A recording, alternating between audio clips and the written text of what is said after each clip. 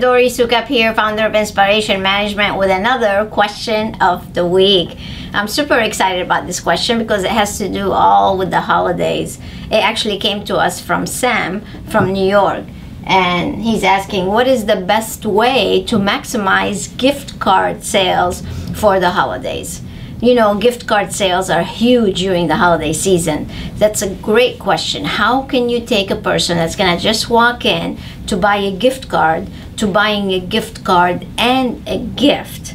So the best way to do it is to create three different packages for your uh, med spa or spa and actually set it up as a display in your reception area or somewhere within the spa have it on either electronic frames to show what each package actually includes and you should bring up a price point of anywhere between 150 to maybe 250 to 350 and those gift cards should include a gift with them. So for example let's say your first level is 150 so the person can buy a hundred dollar gift card and then they can purchase a $50 candle like say like this one. This is an amazing candle. Actually it was a gift from one of my clients and it just smells absolutely amazing.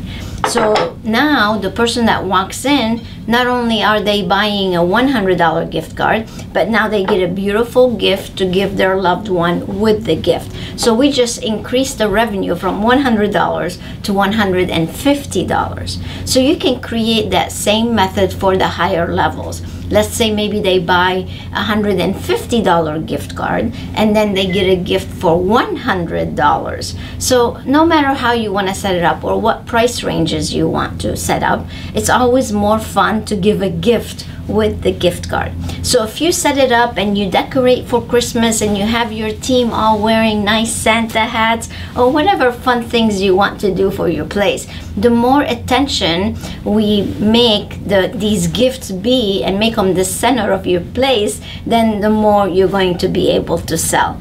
As a matter of fact, this strategy works for any type of celebration, any type of occasion or season. It could work for Mother's Day, Father's Day, you name it, all of them, Easter, Valentine's. So try to do this with every single holiday and you'll be able to maximize your gift card sales exponentially.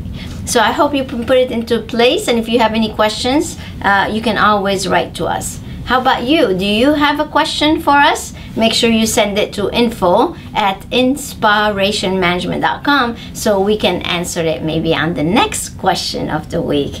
Until next time, stay inspired.